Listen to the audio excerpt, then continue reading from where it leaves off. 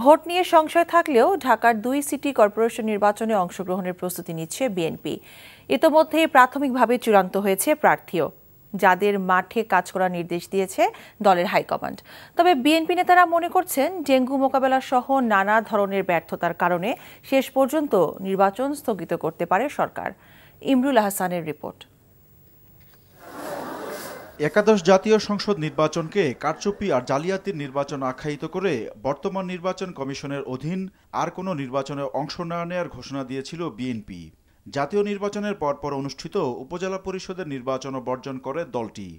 এই সরকারের অধীনে এবং বর্তমান নির্বাচন কমিশনের পরিচালনায় এই ধরনের নির্বাচনগুলো শুধুমাত্র প্রহসনে পরিণত হওয়া ছাড়া অন্য কোনো কিছু হওয়ার সম্ভাবনা নেই।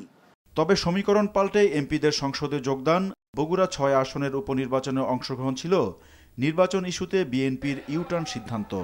তার ধারাবাহিকতায় ঢাকার দুই সিটি নির্বাচনেও মাঠে লড়তে চায় দলটি।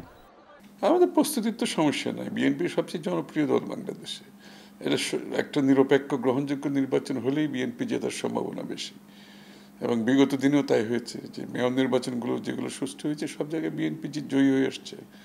এবং সেই কারণে তো নিরপেক্ষ গ্রহণযোগ্য ভোট হচ্ছে না। আমাদের প্রার্থী প্রাথমিকভাবে চূড়ান্ত করা হয়েছে এবং সিটি কর্পোরেশনের আওতায় যতগুলো ওয়ার্ড রয়েছে সে ওয়ার্ডের কাউন্সিলর যারা, সেই প্রার্থী তো চূড়ান্ত করার প্রক্রিয়াগুলো চলছে।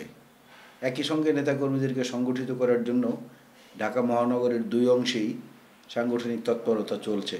এখনও চূড়ান্ত না হলেও ঢাকা উত্তরের মেয়র পদে আগে একবার নির্বাচন করা তাবিদ আউয়ালের উপরই ভরসা রাখতে চায় বিএনপি। নতুন মুখ আসতে পারে ঢাকা দক্ষিণে।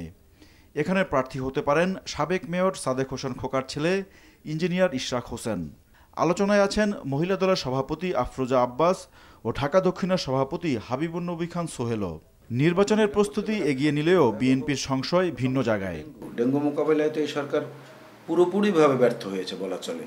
আর দ্রব্যমূল্যের যে অবস্থা, মূল্যস্ফীতির কারণে সাধারণ মানুষের জীবনে নাভিশ্বাস উঠেছে। এসব কিছু মিলিয়ে জনমত ধীরে ধীরে ধীরে ধীরে বিভিন্ন সমস্যার ব্যাপারে এতটা সরকারের বিপক্ষে চলে গেছে এখানটা একটা ভয় রয়েছে যে সরকারের হাতে যেহেতু সকল মেশিনারিজ রয়েছে, তারা একটা অপকৌশল করে এটাকে স্থগিত করার সিদ্ধান্ত করতে পারে।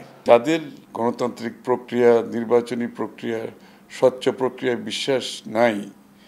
যাদের যাদের নির্ভরশীলতা অন্য জায়গায় জনগণকে বাইরে রেখে, তারা কখন কি করবে সেটা তারা বলতে পারবে। কিন্তু বাংলাদেশের মানুষ তাদের ভোটাধিকার ফিরে পেতে চায়। তারা তাদের প্রতিনিধি নির্বাচিত করতে চায়। তাদের, তারা নির্বাচিত মেয়র চায়। অনির্বাচিত সরকারও চায় না, অনির্বাচিত মেয়রও চায় না। আগামী ডিসেম্বর থেকে মে মাসের মধ্যে অনুষ্ঠিত হওয়ার কথা রয়েছে ঢাকা দুই সিটি কর্পোরেশনের নির্বাচন। Imrul Hasan, NTV news, Dhaka.